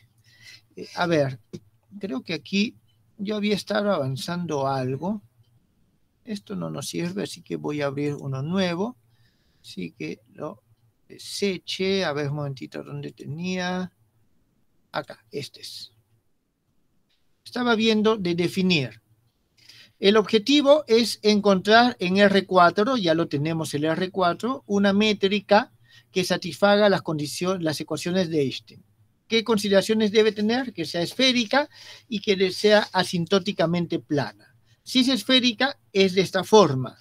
Si es asintóticamente eh, y eh, si es de esta forma, este es de Minkowski.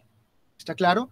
A ver, voy a definir primero, eh, a ver, este es de Minkowski, pero nosotros, como no queremos que sea de Minkowski, que sea más general, le vamos a poner coeficientes acá. Ahora, pero como queremos que sea asintóticamente plana, nosotros vamos a decir de que este ADR es igual a un E a la nu y eh, que también depende solamente de R porque es eh, esférica y B de R es igual a un E a la mu de R. Eso es lo que nosotros vamos a pedir. Ahora, como nosotros necesitamos, voy a poner que es igual a 2. ¿Por qué le pongo que es igual a 2? Simplemente por el hecho que aquí ya está el cuadrado, para que si tengo que sacar raíz cuadrada, no tenga que sacar raíz cuadrada de la función. Entonces, esta es la métrica que yo necesito. ¿Está bien? Entonces, primero voy a definir mi sistema de coordenadas, mi carta. X, y aquí voy a decir que es T, R, teta y Listo. Esto es en M, es una carta. Esta carta está definida de la siguiente manera. Esto, es, entre comillas, va a ir. En primer lugar, tengo T. Después de T, tengo el R, que va eh, disculpen, no, esto es el R, ah, sí, sí, disculpen, que va desde 0 hasta el más infinito. El más infinito, vuelvo a repetir, son dos ceros. Después tengo el teta, que va desde 0 hasta pi. Y ah, voy a usar la notación en látex. Después tengo el phi, que en este caso va desde 0 hasta 2pi. Esto y este es phi. Listo, ya tengo definido qué pasó con mis comillas. ¿Me las comí por ahí? Sí. Bueno, listo. Que nos muestre X. Listo, tenemos R teta. Ya tenemos su rango. Podemos eh, Ahora,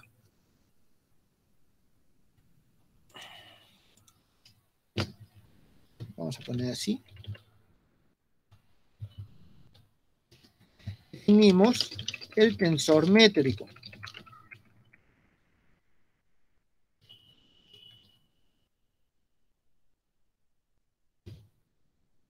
Bien, para definir el tensor métrico, vamos en primer lugar, como hemos dicho que voy a trabajar con mu y mu como funciones, voy a definirlas. ¿Está bien? Voy a decir que nu es igual a una función. Es una función. ¿Cómo se llama esa función? Se llama Listo. Lo mismo hago para la otra función que quiero, solo que es mu. Entonces, eh, bien. Listo. Aquí no nos da nada, simplemente lo he definido. Entonces, vamos a decir G va a ser igual a una métrica. ¿Está bien? Va a ser igual a una métrica. Vamos a definir. Vamos a definirlo elemento por elemento. Que 0, 0 es igual. En este caso es exponente de 2 mu r. Entonces vamos a poner es el exponente de 2 por mu, que es función de r. Listo. De la misma forma definimos el otro elemento, jóvenes, el 1, 1. Pero en este caso va a ser mu. Después vamos nosotros a tener lo siguiente. En nuestra métrica es r al cuadrado por d teta. ¿Está bien? Este simplemente es un r al cuadrado. El g 2, 2 eh, es igual a r al cuadrado. Y el otro elemento, el g 3, 3. Jóvenes, se dan cuenta de que aquí cuando definí la variedad no le puse nada, pude haberlo definido no lorenciana, sino general. ¿no? Y eh, me comienza a contar desde cero. Eso es lo que estamos considerando acá. Entonces, esto es igual, y este va a ser R al cuadrado multiplicado por el... Un momentito. El seno de teta. Ahora, aquí hay algo que hay que tener en cuenta y es lo siguiente. Sí, estas son las contravariantes. Esto realmente es así. A la menos 2 y esto tengo que invertirlo. Esto a la menos 2. Y esto así nada más. Listo, ya tengo la métrica, las componentes. Por las componentes, a partir de lo que hemos visto. Y le voy a decir que nos lo muestre.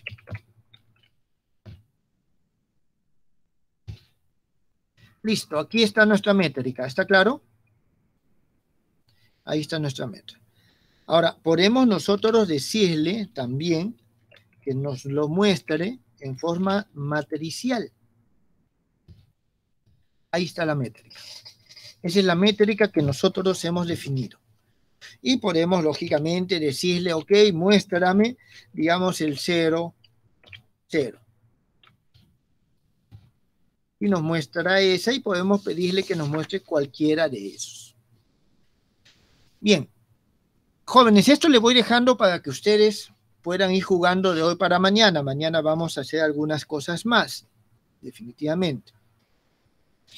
A continuación, vamos a tener nosotros los símbolos de Christoffel. A los símbolos Christoffel es tan sencillo como lo siguiente. G punto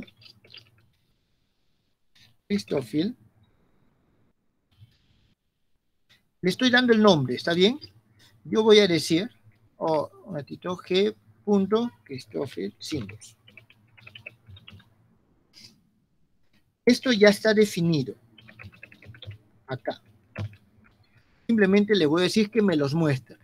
O sea, ya el programa está haciendo el cálculo. Uy, ¿qué pasó? A ver. Esta de... Esta de más. Listo que calcule Ya está, ya calculó los símbolos de Christoffel para esta métrica que he definido. ¿Está bien? De la misma forma, nosotros podemos pedirle, eh, por ejemplo, si pongo esto, lo copio, y le digo que me dé el 0,1,1. pasó? Ah, aquí necesito esto. Listo, ese es cero, por ejemplo. Ya, eh, ¿cuál no es cero? Es 0, 0, 1. A ver, mejor este 1, 0, 0. 1, 0, 0. Listo, me da el elemento. Entonces, de esa forma, jóvenes, nosotros podemos calcularlos. Bien, a ver. Tensor de Riemann.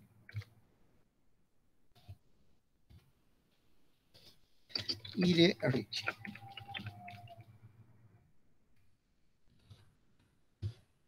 Bien, aquí jóvenes, a ver, vamos, mm, vamos a decir lo siguiente, R va a ser igual a G punto Riemann.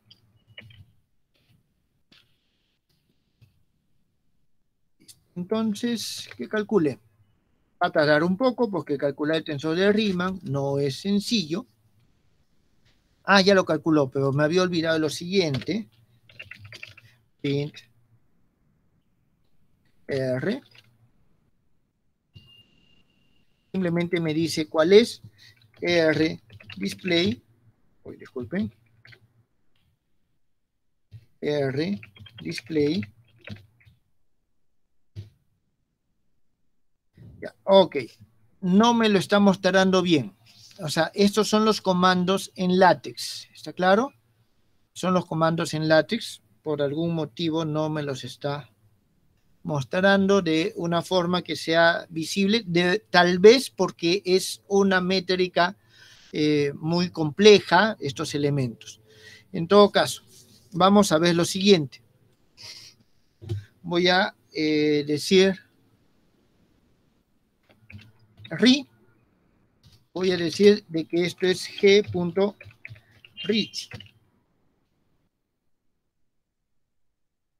Y, disculpen, que nos muestre ri.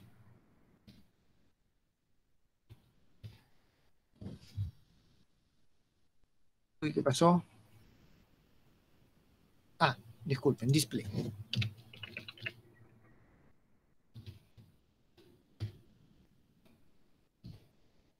Ahora, este sí nos lo muestra, no es tan complejo. Eh, lo que pasa es que el tensor de Riemann tiene muchos más elementos y ya nos mostró los elementos del tensor de Ricci. ¿Está bien? Nosotros podemos eh, decirle que nos lo muestre también en forma matricial. Entonces vamos a decir eh, Ri. puntos. Vamos a ver si es que esto nos lo muestra. Sí, ahí está. Aquí nos, muestra la matricia en forma matricial, con todos sus elementos. No se ve muy atractivo. Jóvenes, una ventaja que tiene el Júpiter es lo siguiente. Si yo aprieto con el botón derecho, me sale esto, y le puedo decir, por ejemplo, muéstramelo como comandos de látex. Entonces, yo puedo coger estos comandos que salen acá los copio en mi artículo, mi informe que estoy desarrollando y me va a generar qué cosa? Esto que está acá.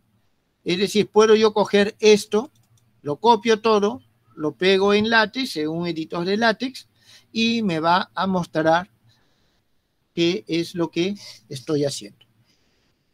Bien, jóvenes, como ustedes se darán cuenta, tiene una infinidad de ventajas y propiedades. ¿Tienen alguna pregunta?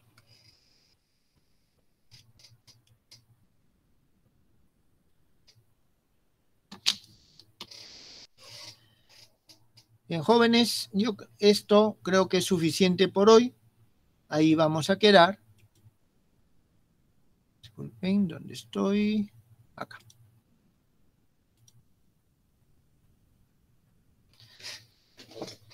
Bien, ¿les ha parecido interesante? Profesor. Bien, vuelvo a repetir, esta es una herramienta. Si ustedes no saben gravitación, o sea, las herramientas, lo que he intentado explicarles brevemente en la clase pasada, eh, las dos sesiones anteriores, va a ser difícil que puedan introducir correctamente. Esto ya calcula los símbolos de Christoffel, Ricci y Riemann, yo les recomiendo que ustedes lo hagan por lo menos una vez, o sea, a mano, y verifiquen su cálculo con esta herramienta. Ya una vez que ustedes saben cómo hacerlo, van a poder formularlo de manera adecuada para que el software no le muestre errores o le dé la menor cantidad de errores posibles. ¿Está bien? Entonces, esto es lo que hoy quería mostrarles. Mañana voy a llegar un poco más adelante con esta, la métrica de Schwarzschild, y voy a mostrarles la, o explicarles con un notebook que ya está hecho. Mañana yo les voy a dar todas las referencias de eh, las páginas, aunque ustedes ya pueden buscarlos por sí mismos. ¿Está bien? Eh, y cómo acceder y e ir eh, desarrollando cada vez más. Mostrarles cómo hacer el cálculo numérico es decir, llego a las ecuaciones diferenciales y ahí viene resolverlas. Para eso se usa Rungecuta con librerías que se heredan de Python, con librerías que ya están desarrolladas y se encuentran soluciones analíticas. Y de ahí lo único que les quedaría a ustedes es ver cómo ampliar ese conocimiento. Muy bien, jóvenes, por hoy aquí quedamos. Muchas gracias. Gracias, profesor. Gracias a usted, profesor. Muchas gracias. Muchas gracias, profesor. Gracias. Gracias, profesor. Hasta Muchas mañana. gracias, profesor.